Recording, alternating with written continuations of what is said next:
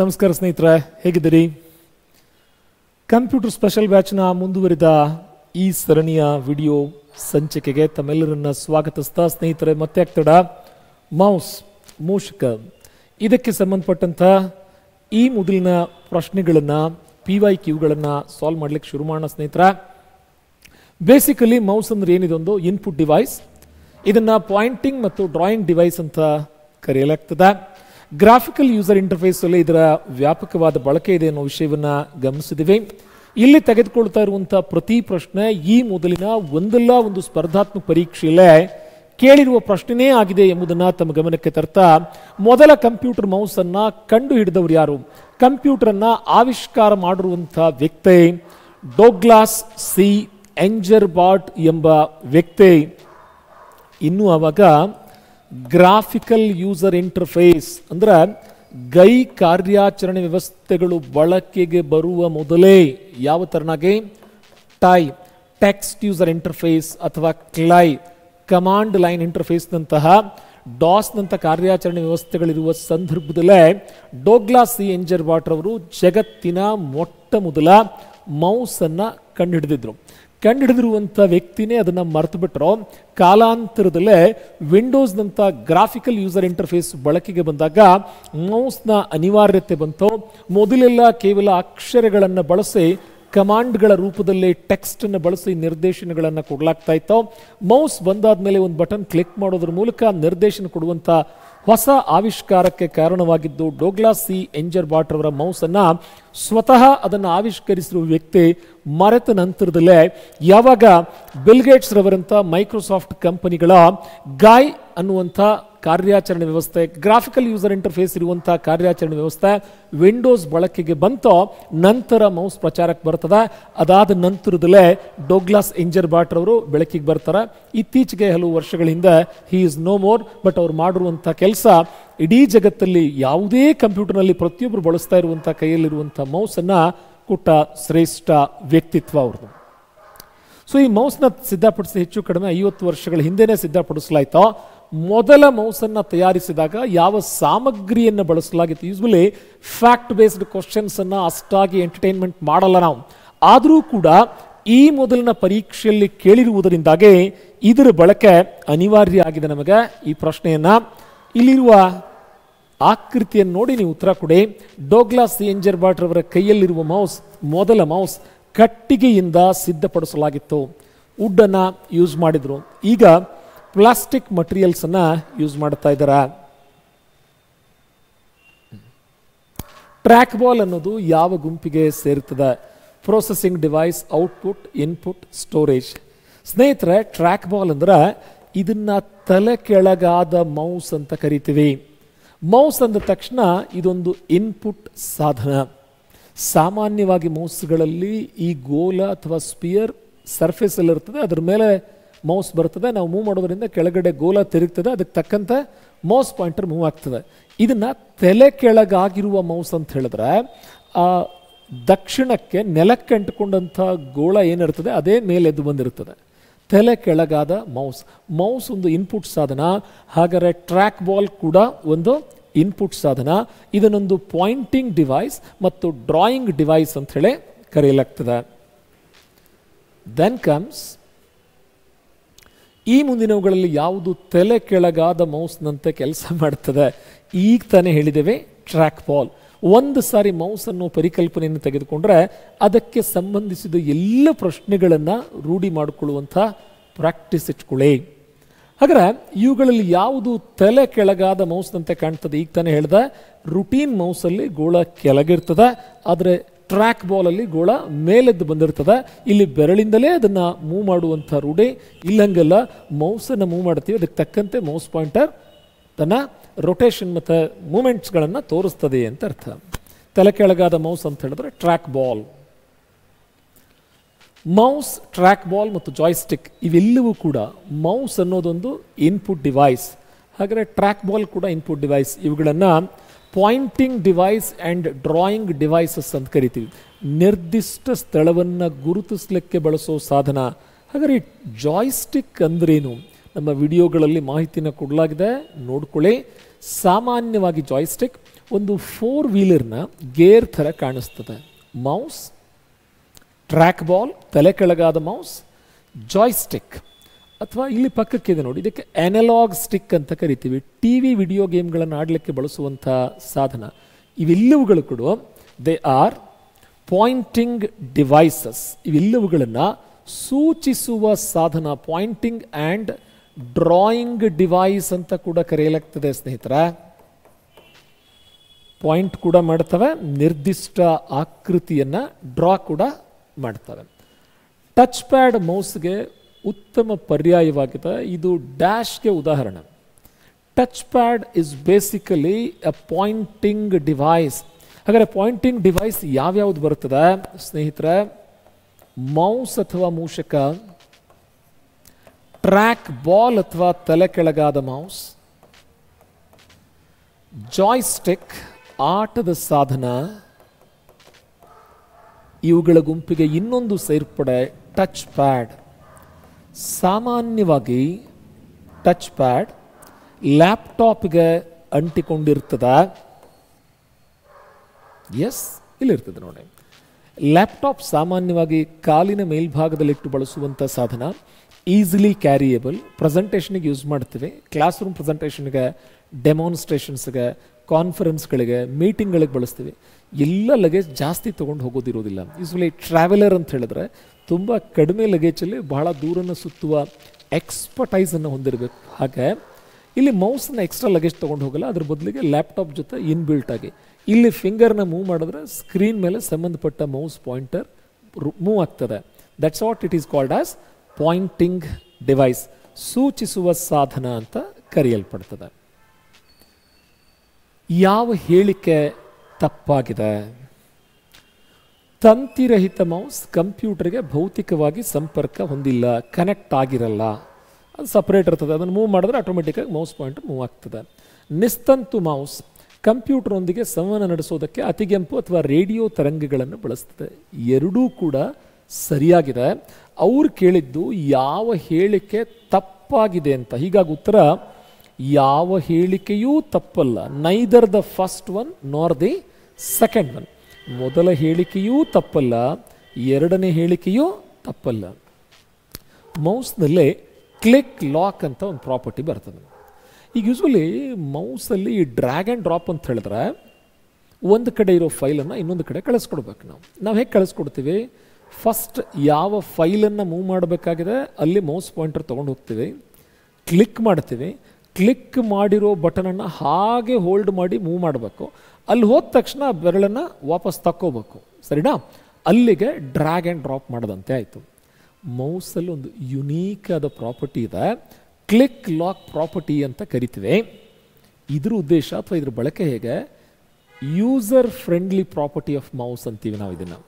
ಒಂದು ಫೈಲ್ ಮೇಲೆ ಅಥವಾ ಚಿತ್ರದ ಮೇಲೆ ಹೋಗ್ತೀವಿ. ಕ್ಲಿಕ್ ಮಾಡಿ ಸುಮ್ಮನೆ ಬಿಡ್ತೀವಿ ವಾಪಸ್ ನೀವು ಹೋಲ್ಡ್ ಮಾಡಿ ಕಷ್ಟಪಟ್ಟು ಕೈ ಮೂವ್ ಮಾಡಲ್ಲ. ಜಸ್ಟ್ ಹಿಂಗೆ ಕ್ಲಿಕ್ ಮಾಡಿದ್ರೆ ಸುಮ್ಮನೆ ಆಗ್ತೀವಿ. ಆ ಒಂದು ಇಮೇಜ್ ಅಲ್ಲಿರುವ ಆಬ್ಜೆಕ್ಟ್ ಅಲ್ಲಿರುವ ಫೈಲ್ ಕ್ಯಾಪ್ಚರ್ ಆಗ್ತದೆ ಲಾಕ್ ಆಗ್ತದೆ. ನಿಧಾನವಾಗಿ ಮೌಸನ್ನು ಮೂವ್ ಮಾಡಿ, ಅಲ್ಲಿ ಇನ್ನೊಂದು ಸಾರಿ ಕ್ಲಿಕ್ ಮಾಡಿದ ತಕ್ಷಣ ಅದು ಡ್ರಾಪ್ ಆಗ್ತದೆ. ಡ್ರ್ಯಾಗ್ ಆ್ಯಂಡ್ ಡ್ರಾಪ್ ಮಾಡಲಿಕ್ಕೆ ಸುಲಭವಾಗಿರುವಂಥ ವಿಧಾನ. ಇದರ ವಿಶೇಷತೆ ಏನು? ಮೌಸ್ ಬಟನನ್ನು ಹಿಡಿದಿಟ್ಟುಕೊಳ್ಳದೆ ಸುಲಭವಾಗಿ ಎಳೆಯೋದಕ್ಕೆ ಅನುಮತಿಸುವಂತಹ ಪ್ರಾಪರ್ಟಿ. ನೋಡಿ ಕ್ವಶನ್ಸ್ ಹೇಗೆ ಡಿಸೈನ್ ಮಾಡಿದ್ದಾರೆ ನಾವೆಲ್ಲ ಮೌಸ್ ಅಂದ ತಕ್ಷಣ ನಮ್ಮ ಪರಿಕಲ್ಪನೆ ಏನೋ, ಯಾರು ಕಂಡು ಹಿಡಿದ್ರು ಯಾವಾಗ ಕಂಡುಹಿಡಿದ್ರು ಬಟ್ ಅವರು ಪ್ರಾಪರ್ಟೀಸ್ಗಳಿಗೆ ಸಂಬಂಧಪಟ್ಟಂಥ ಪ್ರಶ್ನೆ ಹೇಗೆ ಕೇಳ್ತಾರೆ? ಕಂಪ್ಯೂಟರ್ನಲ್ಲಿರೋ ಮೌಸ್ ಏನನ್ನು ಸೂಚಿಸ್ತದೆ? It's a signalling device signal ಕೊಡ್ತದೆ ನಮಗೆ. ಯಾವ ಸ್ಥಳದಲ್ಲಿ ಕ್ಲಿಕ್ ಮಾಡಬೇಕು? ಪಾಯಿಂಟರ್ ಎಲ್ಲಿದೆ? ಇನ್ನು ಮುಂದೆ ಟೆಕ್ಸ್ಟ್ ಎಲ್ಲಿಗೆ ಬರ್ತದೆ? ಅಂತಹ ಸಂಜ್ಞೆಗಳನ್ನು ಕೊಡುವಂತಹ ಪಾಯಿಂಟಿಂಗ್ ಮತ್ತು ಡ್ರಾಯಿಂಗ್ ಡಿವೈಸ್ ಎಂದು ಕರೆಯಲ್ಪಡ್ತದೆ. ಕಂಪ್ಯೂಟರ್ ಮೌಸ್ಗೆ ಎಂತಹ ಸಾಧನ ಅಂತ ಕರಿತೀವಿ. Input device. ಇನ್ಪುಟ್ ಡಿವೈಸ್ ಏನು ಮಾಡ್ತದೆ? ಬಳಕೆದಾರರಿಂದ ಕಚ್ಚಾ ದತ್ತಾಂಶವನ್ನು ಸಂಗ್ರಹಿಸಿ ಸಂಸ್ಕರಿಸುವ ಸಲುವಾಗಿ ಡಿಜಿಟಲ್ ಉಪಕರಣಗಳಿಗೆ, ಕಂಪ್ಯೂಟರ್ಗಳಿಗೆ, ಸ್ಮಾರ್ಟ್ ಉಪಕರಣಗಳಿಗೆ ಕೊಡುವ ಕೆಲಸವನ್ನು ಮಾಡ್ತದೆ ಅಂತ ಅರ್ಥ. So the answer is input device then you have gyroscope ತತ್ವವನ್ನು ಎಲ್ಲಿ ಬಳಸಲಾಗುವುದಿಲ್ಲ? ಸ್ನೇಹಿತರೆ ಫಸ್ಟ್ ಆಫ್ ಆಲ್ ಗೈರೋಸ್ಕೋಪ್ ಅಂದ್ರೆ ವಿಭಿನ್ನ ದಿಕ್ಕುಗಳಲ್ಲಿ ತಿರುಗೋದಕ್ಕೆ ಅವಕಾಶ ಕೊಡಬೇಕು. ಈಗ ನಾವು ಯೂಸ್ವಲಿ ಫೋಟೋ ತೆಗೆದಿರ್ತೀವಿ. ತ್ರೀ ಸಿಕ್ಸ್ಟಿ ಡಿಗ್ರೀಸ್ ಅಂತ ಮೊಬೈಲಲ್ಲಿ ಒಂದು ಫೋಟೋ ಬರುತ್ತೆ ನೋಡಿ ಸ್ಮಾರ್ಟ್ ಫೋನಲ್ಲಿ ಸೊ ಸುತ್ತಮುತ್ತ ಎಲ್ಲ ಕವರಪ್ ಮಾಡಿರ್ತಾರೆ ಅವರು ಭೂಮಿ, ಆಕಾಶ, ಪಾತಾಳ ಎಲ್ಲ ಕವರಪ್ ಆಗಿರ್ತದೆ ನೋಡಿ, ಎಲ್ಲ ದಿಕ್ಕುಗಳಲ್ಲಿ. ಆ ತೆರನಾಗಿ ಸಾಮಾನ್ಯವಾಗಿ ಈ ಬಾಹ್ಯಾಕಾಶ ತಂತ್ರಜ್ಞಾನದಲ್ಲಿ ಬಳಸುವಂಥ ಒಂದು ಸಾಧನ ಗೈರೋಸ್ಕೋಪ್ ಅಂತ ಹೇಗಿರ್ತದೆ ನೋಡಿ, ಅದರ ಮೂಮೆಂಟ್ಸ್ ಹೇಗಿರ್ತದೆ ನೋಡಿ. ಇದು ಒಂದೇ ದಿಕ್ಕು, ಇದು ಒಂದೇ ಪ್ಲೇನ್ ಅಂತಲ್ಲ, ಎಲ್ಲ ದಿಕ್ಕುಗಳಲ್ಲೂ ಕೂಡ ಹರಡ್ಕೊಂಡು ಬರ್ತದೆ. ಹಾಗಾದರೆ ಈ ತತ್ವವನ್ನು ನಾವು ಎಲ್ಲೆಲ್ಲಿ ಬಳಸ್ತೀವಿ ರೇಸಿಂಗ್ ಕಾರಲ್ಲಿ ಬಳಸ್ತೀವಿ, ಕಂಪ್ಯೂಟರ್ ಮೌಸಲ್ಲಿ ಬಳಸ್ತೀವಿ ಸ್ಮಾರ್ಟ್ ಫೋನಲ್ಲಿ ತ್ರೀ ಸಿಕ್ಸ್ಟಿ ಡಿಗ್ರೀಸ್ ಫೋಟೋ ತಗೊಳ್ಳಿಕ್ಕೆ ಬಳಸ್ತೀವಿ. ಆದರೆ ಇಂಕ್ ಜೆಟ್ ಪ್ರಿಂಟರಲ್ಲಿ ಬಳಸಲ್ಲ. ಅವರು ಕೇಳಿದ್ದು, ಗೈರೋಸ್ಕೋಪ್ ತತ್ವವನ್ನು ಎಲ್ಲಿ ಬಳಸೋದಿಲ್ಲ ಅಂತ. ಈ ಮಾಹಿತಿ ಹೇಳಿದ ತಕ್ಷಣ ಒಂದು ಪ್ರಶ್ನೆ ಜ್ಞಾಪಕಕ್ಕೆ ಬಂತು ನೋಡಿ. ಮೌಸ್ನ ತಯಾರಿಕೆಗೆ ಬಳಸುವ ತತ್ವಗಳಲ್ಲಿ ಒಂದು ಗೈರೋಸ್ಕೋಪ್ ತತ್ವವೂ ಹೌದು. ಅಥವಾ ಗೈರೋಸ್ಕೋಪ್ ತತ್ವವನ್ನು ಬಳಸಿ ಈ ಮುಂದಿನ ಯಾವ ಸಾಧನ ಕೆಲಸ ಮಾಡ್ತದ? ಕಂಪ್ಯೂಟರ್ ಮೌಸ್ ಕೂಡ ಒಂದು ಇವೆರಡೂ ಪ್ರಶ್ನೆಗಳನ್ನು ಕೇಳಲಾಗಿದೆ. ಗಮನಿಸ್ಕೊಳ್ಳಿ ಸ್ನೇಹಿತರೆ. ಬಹುಶಃ ಮುಂದಿನ ಪ್ರಶ್ನೆ ಬಂದೇ ಬಿಡ್ತು. ಯಾವ ಉಪಕರಣದಲ್ಲಿ ಗೈರೋಸ್ಕೋಪ್ ತತ್ವ ಬಳಸ್ತಾರೆ? ಈಗ ತಾನೇ ಹೇಳಿದ್ವಲ್ಲ ಪುಟ. ಕಂಪ್ಯೂಟರ್ ಮೌಸಲ್ಲಿ ಗೈರೋಸ್ಕೋಪ್ ತತ್ವವನ್ನು ಬಳಸಲಾಗ್ತದೆ. ಸ್ನೇಹಿತರೆ, ನಿಮ್ಮ ನಿರೀಕ್ಷೆಯಂತ ಪ್ರಶ್ನೆಗಳನ್ನು ಕನ್ನಡ ಮತ್ತು ಇಂಗ್ಲಿಷ್ ಎರಡೂ ಭಾಷೆಗಳಲ್ಲಿ ಕೂಡಲಾಗಿದೆ. ನೋಡ್ಕೊಳ್ಳಿ. ಬಟ್ ಸಾಧ್ಯ ಆದಷ್ಟು ಕಂಪ್ಯೂಟರ್ ಅನ್ನೋದು ತಾಂತ್ರಿಕ ವಿಷಯವಾದ್ದರಿಂದ ಕನ್ನಡಕ್ಕಿಂತ ಆಂಗ್ಲ ಭಾಷೆಯ ಬಳಕೆ ಸೂಕ್ತ ಅಂತ ಹೇಳ್ತಾ ಮುಂದಿನ ಪ್ರಶ್ನೆ ಸ್ನೇಹಿತರ. ಇದು ಪೆನ್ನಿನ ಆಕಾರದಲ್ಲಿರ್ತದೆ ಪಾಯಿಂಟಿಂಗ್ ಮತ್ತು ಡ್ರಾಯಿಂಗ್ ಉಪಕರಣ ಆಗಿದೆ. ಇದನ್ನು ಟಚ್ ಸ್ಕ್ರೀನ್ಗಳಲ್ಲಿ ಬಳಸ್ತಾರೆ. ಇಲ್ಲಿದೆ ನೋಡಿ ಕೈಯಲ್ಲಿಗ. ಇದನ್ನು ಬಳಸಿ ಬರಿತಾ ಇದ್ದೇನೆ ನಾನು. ನೋಡಲಿಕ್ಕೆ ಪೆನ್ನಿನ ಆಕಾರದಲ್ಲಿದೆ. ಎಸ್ ಟಚ್ ಸ್ಕ್ರೀನ್ನಲ್ಲಿ ಬಳಕೆ ಮಾಡ್ತಾ ಇದ್ದೀವಿ. ಕರ್ನಾಟಕ.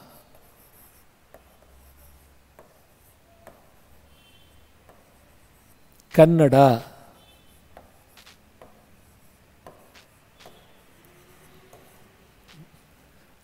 ಹನಿಗವನಗಳನ್ನು ಬರೆಯುವಂಥ ಸಾಧುಲ್ಲ ಬೇಗ್ ಭಾಳ ಅದ್ಭುತವಾಗಿ ಬರೀತಾರೆ. ಅತ್ತ ಎಕ್ಕಡ, ಇತ್ತ ಎನ್ನಡ, ಮಧ್ಯ ಕನ್ನಡ, ನಮ್ಮದು ಸರಿಗನ್ನಡ. ಏನು ಅದ್ಭುತ ರೀ. ಈಗ ಈ ಟಚ್ ಸ್ಕ್ರೀನನ್ನು ಬಳಸಿ ಬರೆಯುವ ಶೈಲಿ ನೋಡಿ. ಹಾಗಾದರೆ ಇದಕ್ಕೇನಾದ್ರು ಹೆಸರು ಇರಬೇಕಲ್ಲ. ಸರ್, ಇದಕ್ಕೆ ಡಿಜಿಟಲ್ ಪೆನ್ ಅಂತೀವಿ. ಪುಟ, ಆಡು ಭಾಷೆಯಲ್ಲಿ ಜನಸಾಮಾನ್ಯರು ಬಳಸುವ ಪದವೇ ಬೇರೆ. ತಾವು ವಿದ್ಯಾವಂತರು. ಸ್ಪರ್ಧಾರ್ಥಿಗಳು ಕಾಂಪಿಟೇಟರ್ಸ್ ಕಂಪ್ಯೂಟರ್ ಕೋರ್ಸ್ ಬೇರೆ ಓದಿದಿರಿ ಕೈಯಲ್ಲಿ ಜಗತ್ತಿನಲ್ಲೇ ಚಿಕ್ಕದಾಗಿರುವಂಥ, ಚೊಕ್ಕದಾಗಿರುವಂಥ ಮಿನಿ ಕಂಪ್ಯೂಟರ್ ಯಾವುದು? ಮೊಬೈಲನ್ನು ಬಳಸ್ತಾ ಇದ್ದೀರಿ. ನೀವು ತಾಂತ್ರಿಕ ಪದಗಳನ್ನೇ ಬಳಸಬೇಕಾಗಿರೋ ಅನಿವಾರ್ಯತೆ ಇದೆ ಪುಟ. ಈಗಿನ ಕಾಲದಲ್ಲಿ ನೀವು ಎಷ್ಟೇ ಓದಿದ್ರೂ ಕಂಪ್ಯೂಟರ್ ಗೊತ್ತಿಲ್ಲ ಅಂದರೆ ಅನಕ್ಷರಸ್ಥ ಎಂದು ಪರಿಗಣಿಸುವ ಸನ್ನಿವೇಶ ಬಂದಿರೋದ್ರಿಂದ ಸರಿಯಾದ ಪದ ಸ್ಟೈಲಸ್ ಅಂತ ಅರ್ಥ. ಸ್ಟೈಲಸ್. ಹೆಂಗ್ರಿ ಕೆಲಸ ಮಾಡತ್ತಿ ಸ್ಟೈಲಸ್ಸು? ಹಿಂಗೆ ಕೆಲಸ ಮಾಡತ್ತಿ stylus. Touch screen. Touch screen ಡಿವೈಸ್ಗಳಲ್ಲಿ ಸ್ಪರ್ಶ ದರ್ಶಕಗಳಲ್ಲಿ ಬಳಸಲಾಗುವಂಥ ಸಾಧನ. ದೆನ್ ಕಮ್ಸ್ ಇದನ್ನ ಗ್ರಾಫಿಕಲ್ ಯೂಸರ್ ಇಂಟರ್ಫೇಸ್ ಅಲ್ಲಿ ಬಳಸ್ತಾರೆ. ಅಂದರೆ ಗೈ ಕಾರ್ಯಾಚರಣೆ ವ್ಯವಸ್ಥೆಗಳಲ್ಲಿ ಬಳಸ್ತಾರೆ. ಹೇಳೋ ಕಮಾಂಡ್ಗಳಲ್ಲಿ, ಇಲ್ಲಿ ನೋಡಿ, ಹೇಳೋ ಕಮಾಂಡ್ಗಳಲ್ಲಿ, ನೋಡ್ಕೊಳ್ಳಿ ಹೇಳೋ ಕಮಾಂಡ್ಗಳಲ್ಲಿ. ಚಿತ್ರಗಳ ಮೂಲಕ ಕಮಾಂಡ್ ಕೊಡ್ತಾ ಇದ್ದೀವಿ ಚಿತ್ರದ ಮೂಲಕ ಕಲರ್ ಆಯ್ಕೆ ಮಾಡ್ಕೊಳ್ತಾ ಇದ್ದೀವಿ ಕಲರ್ ಆಯ್ಕೆ ಮಾಡ್ಕೊಂಡಿದ್ದೀವಿ ಚಿತ್ರದ ಮೂಲಕ ಕಲರ್ ಚೇಂಜ್ ಮಾಡ್ತಾ ಇದ್ದೀವಿ ಅಂದರೆ ಹೀಗೆ ಗ್ರಾಫಿಕ್ಸ್ಗಳನ್ನೇ ಯೂಸ್ ಮಾಡಿ ಆ ಸಿಸ್ಟಮ್ ಜೊತೆಗೆ, ಆ ಡಿವೈಸ್ ಜೊತೆ ಮಾತನಾಡುವ ಕಲೆಯನ್ನು ಕಲಿಸಿಕೊಡುವಂತಹ ಸಾಧನ mouse. The device is called as mouse ಆಡು ಭಾಷೆಯಲ್ಲಿ ಮೂಷಕ ಅಂತ ಕರಿತೇವೆ. ಮೌಸ್ ಅನ್ನೋ ಪದವೇ ಸೂಕ್ತವಾಗಿದೆ, ಸ್ನೇಹಿತರೆ. ಮೌಸ್ನ ಚಲನೆಯನ್ನು ಪತ್ತೆ ಹಚ್ಚಲಿಕ್ಕೆ ಯಾವ ವರ್ಗದ ಮೌಸ್ ಲೇಸರನ್ನು ಬಳಸಲಾಗ್ತದೆ? ಸ್ನೇಹಿತರ, ಲೇಸರ್ ಅಂದ್ರೆ light amplification by stimulated emission of radiation ಸರಿನಾ? ಲೈಟ್ ಅನ್ನೋ ಪದ ಎಲ್ಲಿ ಬರ್ತದೋ ಅಲ್ಲಿ ಆಪ್ಟಿಕ್ಸ್ ಅನ್ನೋ ಪದ ಬಳಕೆಯಲ್ಲಿರ್ತದೆ ಗಮನಕ್ಕಿರಲಿ. ಹಾಗರ ಮೆಕ್ಯಾನಿಕಲ್ ಅಂತೂ ಇರಲಿಕ್ಕೆ ಚಾನ್ಸ್ ಇಲ್ಲ. ಉತ್ತರ ಬಂದು ಆಪ್ಟೋ ಮೆಕ್ಯಾನಿಕಲ್ ಅಂದರೆ ಬೆಳಕಿನ ತತ್ವವನ್ನೂ ಬಳಸಲಾಗ್ತದೆ ಮೆಕ್ಯಾನಿಕಲ್ ತತ್ವವನ್ನೂ ಬಳಸಲಾಗ್ತದೆ, ಎರಡನ್ನೂ ಒಳಗೊಂಡಿರೋ ತತ್ವಕ್ಕೆ ಆಪ್ಟೋ ಮೆಕ್ಯಾನಿಕಲ್ ದೃಕ್ ಯಾಂತ್ರಿಕ ಮೌಸ್ ಅಂತ ಕನ್ನಡ ಪದ. ಬೆಟರ್ ಇಂಗ್ಲೀಷಲ್ಲೇ ಫಾಲೋ ಮಾಡಿ. ಮೌಸ್ ಮೂವ್ ಆಗಲಿಕ್ಕೆ ಮೆಕ್ಯಾನಿಕಲಿ, ಯಾಂತ್ರಿಕವಾಗಿ ನಾವು ಅದನ್ನು ಮೂವ್ ಮಾಡ್ತೀವಿ. ಮೂವ್ ಆಗಿದ್ದನ್ನು ಡಿಟೆಕ್ಟ್ ಮಾಡಲಿಕ್ಕೆ ಬೆಳಕಿನ ಕಿರಣಗಳು, ಲೇಸರ್ ಕಿರಣಗಳನ್ನು ಬಳಸಲಾಗ್ತದೆ. ಹೀಗಾಗಿ ಹೆಸರು ಆಪ್ಟೋ ಮೆಕ್ಯಾನಿಕಲ್ ಮೌಸ್ ಅಂತ ಹೆಸರು. ದನ್ ಕಮ್ಸ್ ಹಾಗರ ನೋಡಿ, ಮೂವ್ ಏನೋ ಮಾಡ್ತೀವಿ, ಮೆಕ್ಯಾನಿಕಲ್. ಅದರ ಜೊತೆಯಲ್ಲಿ ಒಂದು ಎಲ್ ಇ ಡಿ ಬಲ್ಬನ್ನು ಯೂಸ್ ಮಾಡ್ತೇವೆ, ಲೈಟ್ ಎಮಿಟಿಂಗ್ ಡಯೋಡನ್ನು ಯೂಸ್ ಮಾಡ್ತೇವೆ, ಬೆಳಕನ್ನೂ ಬಳಸ್ತೀವಿ, ಮೆಕ್ಯಾನಿಕಲ್ ಆ ಯಾಂತ್ರಿಕ ಚಲನೆಯನ್ನೂ ಬಳಸ್ತೀವಿ. ಎರಡೂ ಬಳಕೆಯಾದರೆ ಆಪ್ಟೋ ಮೆಕ್ಯಾನಿಕಲ್ ಅಂತ ಅರ್ಥ. ಪರದೆಯ ಮೇಲಿನ ಐಟಮನ್ನು ಹೊಸ ಸ್ಥಳಕ್ಕೆ ಸರಿಸಬೇಕು ಅಂದ್ರೆ ಯಾವ ವಿಧಾನ ಬಳಸಲಾಗ್ತದೆ? ಒಂದು ಕಡೆ ಇರೋ ಮಾಹಿತಿ ಇನ್ನೊಂದು ಕಡೆ ಮೂವ್ ಆಗಬೇಕು. ನೋಡ್ಕೊಳ್ಳಿ, ಯಾವ ಥರ? ಇಲ್ಲಿರೋ ಮಾಹಿತಿಯಲ್ಲಿ ಮೂವ್ ಆಗಬೇಕು. ಮೌಸನ್ನು ಕ್ಲಿಕ್ ಮಾಡಿ ಹೋಲ್ಡ್ ಮಾಡಿ, ಆ ಕಡೆ ಮೂವ್ ಆಗಿ ಬಟನ್ ಕೈ ಬಿಡ್ತಾ ಇದ್ದೀವಿ. ಈ ತಂತ್ರಜ್ಞಾನಕ್ಕೆ, ಈ ಕಾನ್ಸೆಪ್ಟಿಗೆ ಈ ಪ್ರಾಪರ್ಟಿಗೆ ಡ್ರ್ಯಾಗ್ ಆ್ಯಂಡ್ ಡ್ರಾಪ್ ಅಂತ ಕರೆಯಲಾಗ್ತದೆ. ಮೌಸಲ್ಲಿ ಸಿಂಗಲ್ ಕ್ಲಿಕ್ ಇದೆ ಡಬಲ್ ಕ್ಲಿಕ್ ಇದೆ ಡ್ರ್ಯಾಗ್ ಆ್ಯಂಡ್ ಡ್ರಾಪ್ ಅಂತ ಇದೆ ರೈಟ್ ಕ್ಲಿಕ್ ಅಂತಿದೆ ಲೆಫ್ಟ್ ಕ್ಲಿಕ್ ಅಂತಿದೆ, ಬೇರೆ ಬೇರೆ ಕೆಲಸಗಳನ್ನು ಮೌಸ್ ಮಾಡ್ತದೆ. ಅದರಲ್ಲಿ ಡ್ರ್ಯಾಗ್ ಆ್ಯಂಡ್ ಡ್ರಾಪ್ ಕೂಡ ಒಂದು. ಸಾಮಾನ್ಯವಾಗಿ ಡ್ರ್ಯಾಗ್ ಆ್ಯಂಡ್ ಡ್ರಾಪನ್ನು ಮೂವ್ ಮಾಡಲಿಕ್ಕೆ ಬಳಸುವಂಥ ವಿಧಾನ. ಒಂದು ಸ್ಥಳದಲ್ಲಿರೋ ದತ್ತಾಂಶವನ್ನು ಇನ್ನೊಂದು ಕಡೆ ವರ್ಗಾವಣೆಗೊಳಿಸ್ಲಿಕ್ಕೆ ಬಳಸುವಂಥ ವಿಧಾನ. ಮೌಸ್ನ ಎರಡು ಪ್ರಮಾಣಿತ ಗುಂಡಿಗಳ ಮಧ್ಯದಲ್ಲಿ, ಬಟನ್ಗಳ ಮಧ್ಯದಲ್ಲಿ ಒಂದು ಚಕ್ರ ಇಟ್ಟಿದ್ದಾರೆ ಅವರು. ಮೌಸ್ನಲ್ಲಿ ಆರಂಭದಲ್ಲೇ ಮೂರು ಬಟನ್ಗಳಿದ್ವು. Left button, right button and middle button. Middle ಬಟನನ್ನು ಕಾಲಾಂತರದಲ್ಲಿ ಚಕ್ರವಾಗಿ ಪರಿವರ್ತನೆ ಮಾಡಲಾಯಿತು. ಚಕ್ರ ಮುಮ್ಮುಖವಾಗಿ ಚಲಿಸ್ಲಿಕ್ಕೆ, ಹಿಮ್ಮುಖವಾಗಿ ಚಲಿಸ್ಲಿಕ್ಕೆ ನೇವಿಗೇಷನ್ ಪರ್ಪೋಸ್ ಅಂತ ಹೇಳ್ತೀವಿ ನಾವು. ಸಂಚರಿಸುವಿಕೆಗಾಗಿ ಬಳಸ್ತೀವಿ ನೇವಿಗೇಷನ್ ಇದಕ್ಕೆ ಇನ್ನೊಂದು ಹೆಸರಿದೆ ಸ್ಕ್ರಾಲಿಂಗ್ ಅಂತ. ಎಡಬಲ ಚಲನೆ, ಉತ್ತರ ದಕ್ಷಿಣದ ಚಲನೆ ಎರಡಕ್ಕೂ ಬಳಸ್ತೀವಿ. ಪುಟವನ್ನು ಸ್ಕ್ರಾಲ್ ಮಾಡುವ ಸಲುವಾಗಿ ಬಳಸೋದ ಮಧ್ಯದ ಬಟನ್ ಎಂದರ್ಥ ಸರಿ ಸ್ನೇಹಿತರ, ಇದಿಷ್ಟು ಮೌಸ್ಗೆ ಸಂಬಂಧಪಟ್ಟಂಥ ಪ್ರಶ್ನೆಗಳು. ಉಳಿದ ವಿಷಯಗಳ ಜೊತೆಗೆ ಮತ್ತೆ ಸಿಗ್ತೀವಿ. ಸ್ನೇಹಿತರೆ ಆಲ್ರೆಡಿ ನಮ್ಮ ಆ್ಯಪಲ್ಲೇ ಪ್ರತಿ ಅಧ್ಯಾಯಕ್ಕೆ ತಕ್ಕಂಥ ಕೊನೆಯಲ್ಲಿ ಎಂ ಸಿ ಕ್ಯೂಗಳನ್ನು ಕನ್ನಡ ಮತ್ತು ಇಂಗ್ಲೀಷ್ ಎಂಬ ಈ ಮಾದರಿಯಲ್ಲಿ ಚರ್ಚಿಸಲಾಗಿದ್ದ, ತಾವು ಆಲ್ರೆಡಿ ಆ ವಿಡಿಯೋಗಳನ್ನು ವೀಕ್ಷಣೆ ಮಾಡಿದರೆ ನಮ್ಮ ಆ್ಯಪಲ್ಲಿ ಮೊದಲು ಥೇರಿ ಹೇಳಾಗಿದೆ. ಥೇರಿ ಪಿ ಪಿ ಟಿ ಇರ್ತದೆ ಕಲರ್ಫುಲ್ ಆಗಿರ್ತದೆ ಮಧ್ಯೆ ಮಧ್ಯೆ ಅನಿಮೇಷನ್ಸ್ ಇರ್ತದೆ. ಹೀಗೆ ಪಿ ಪಿ ಟಿಯನ್ನು ಯೂಸ್ ಮಾಡಿಕೊಂಡು ವಿಷಯದ ಚರ್ಚೆ ಇರ್ತದೆ. ಆ ಪಾಠ ಮುಗಿತಾ ಮುಗಿತಾ ಕೊನೆಯಲ್ಲಿ ಆ ಅಧ್ಯಾಯಕ್ಕೆ ಸಂಬಂಧಿಸಿದ ಪಿ ವೈ ಕ್ಯೂ ಪ್ರಶ್ನೆಗಳನ್ನು ಚರ್ಚಿಸಲಾಗಿದೆ. ಈ ವಿಡಿಯೋ ಕೂಡ ಅಪ್ಲೋಡ್ ಮಾಡಿದ್ದದೆ, ದಯವಿಟ್ಟು ಗಮನಿಸಿ ಅಂತ ಹೇಳ್ತಾ ಮುಂದಿನ ವಿಡಿಯೋ ಜೊತೆ ಸಿಗೋಣ. ಸಿಗುತ್ತೆ